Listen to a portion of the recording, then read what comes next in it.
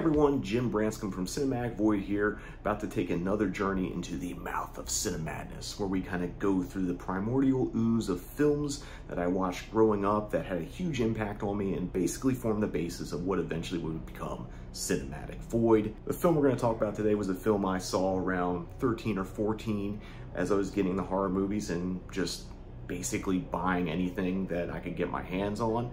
And when I watched it, I absolutely loved this movie, only to find out that it was considered one of the most hated films in the franchise it belonged to. And the reason why it was hated was probably one of the most stupidest reasons to hate the film.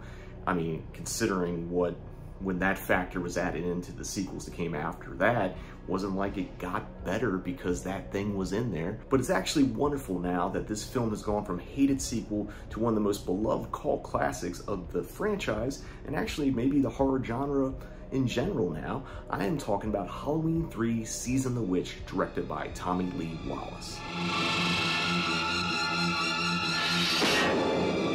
Halloween 3 Season of the Witch, the night no one comes home. Sort of like the Evil Dead trilogy where I saw it from Army of Darkness going back to Evil Dead. I saw the Halloween franchise movies in all kinds of out of order. Actually, that was kind of pretty much the norm for any horror franchise. I didn't see everything from first movie to the last movie. It was just whatever was available that I could see, be it on TV or to rent. That's just how I watched it. I remember watching Phantasm 3 off of HBO without having seen Phantasm 1 and 2. So with that said, I ended up seeing Halloween 3 before I saw Halloween Part 1. Actually, I saw Halloween 2 and 3 before Part 1 because I bought both of them on VHS in the same day. I think I got them at Kmart, just like I got Night Living Dead. My saving place makes saving nice with quality.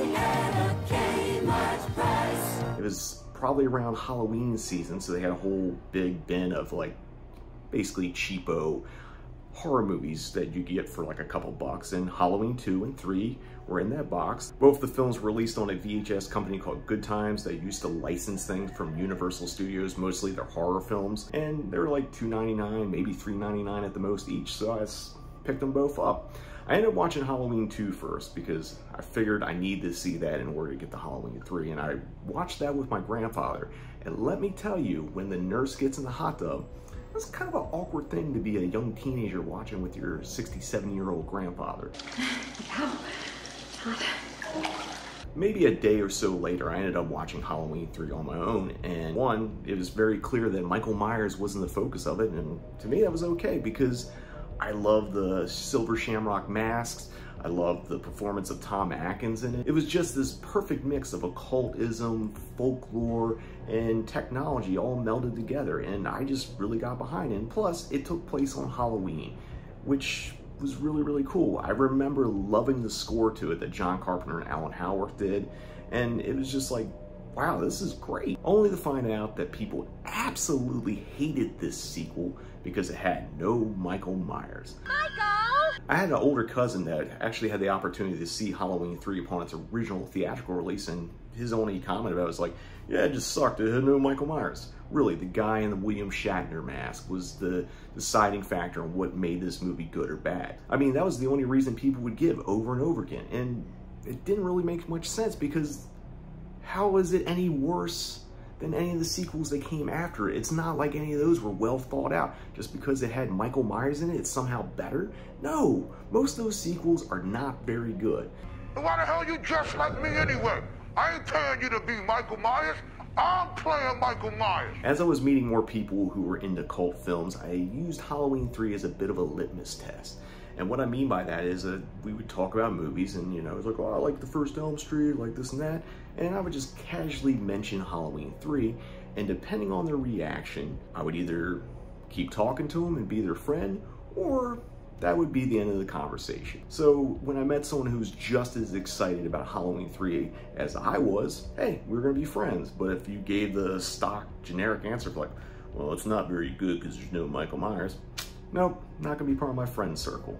I think this whole thing is a big joke. And that's just how I rolled for many, many years. It was a great way to like find like-minded people. It's sort of like when you're into punk rock and when you hear someone talk about a band you really like but no one knows what it's about, you can make a connection that way. Halloween 3 was a film that I can make connections with through other cult film fans. There's a lot of things I really liked about Halloween 3, but the thing I might have liked the most about it was that score by Alan Howarth and John Carpenter. It was kind of more interesting and had different layers than the, some of the stuff they had done previously. And I was really obsessed with it. And because I was in the punk rock and I was collecting records, I really wanted to find Halloween 3 on vinyl. I searched high and low. Anytime I went to a record store, went right to the soundtrack section, tried to find never found it. My friend Jim DeHaven, who I met back in 8th grade because of our mutual love of Evil Dead 2, was also big in Halloween 3, and we always would get competitive over who's gonna find Halloween 3 soundtrack on vinyl first. And that fucker ended up finding it before I did. And I think he paid less than 10 bucks for it. And I was mad and I was jealous. But he was at least kind enough to actually rip the vinyl and put it on CD so I would have the song so I could have the full soundtrack to listen to. It took a bunch of years, but eventually I did manage to get my own original copy of Halloween 3. So this is one of my prized possessions, but I also have another copy, which was one of the early releases from Death Waltz Recording Company. This was I think the first time it had been reissued. I know there's a couple more reissues, but this is the only one I have. And so yeah, I own this soundtrack twice. That is how much I love that score and love this movie. I also have the novelization because, hey, I'm a big nerd. I really like this movie. Actually, I'll go one further. I have a Halloween 3 tattoo. And not to mention, over my head right here, I also have all three Silver Shamrock Halloween masks. So it's been great watching Halloween 3 grow and become really the cult classic it deserved and always should have been. One of the coolest things I got to do because of Halloween 3 and working at the American Cinematheque and doing Cinematic Void and doing stuff with Beyond Fest was I got to moderate a Q&A with Halloween 3 star Tom Atkins. Now, years ago, maybe like 2006, I went to a horror convention in Hunt Valley, Maryland. I forget what the convention's called, but Tom Atkins was a guest there. And I remember he was sitting at a table by himself. He was drinking Miller Lite. He had a stack of the Fog DVD that MGM had just put out. So I went up to him. I bought a shirt. It was the shirt that had Atkins on it and his like cartoon face. And I talked to him a little bit. And before I left the table, I remember saying, just so you know, I really love you in Halloween 3. And he just stared at me, trying to figure out if I was just maybe fucking with him or just was being sincere or not. But years later, at Beyond Fest, we put together a Tomathon where we showed three movies starring Tom Atkins. It was The Fog, Night of the Creeps, and of course Halloween 3. I was dressed in a white tuxedo because I was playing Dom Atkins during the intermission and intro segments of the marathon before Tom showed up. And I was told that I had to keep the white tuxedo on. I didn't have the mustache. So when I met Tom Atkins, I think he thought I was like the head of the theater because I was wearing a ill-fitted tuxedo, but doing a Q&A with Tom Atkins. He had such great stories, such great one-liners, and I even got to let him have his justice over Halloween 3. So there were a lot of people who were disappointed that Michael Myers wasn't in it, and I don't care. A lot of the movies thus far I've talked about in the Mouth of Cinemadness are movies that I really love but haven't really revisited. But I will say Halloween 3 I definitely revisit at least once a year. I showed it back in 2021 as a Halloween hangover in Cinematic Void and I also included in the 7 Years of Void Marathon. It's just a fun movie and it's great to watch with an audience. It's great to watch with an audience that gets it and embraces it and doesn't give a shit that Michael Myers isn't in it. So that wraps up this edition of In the Mouth of Cinemadness.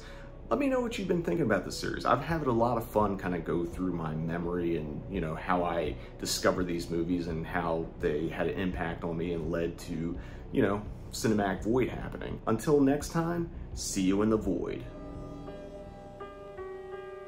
And happy Halloween.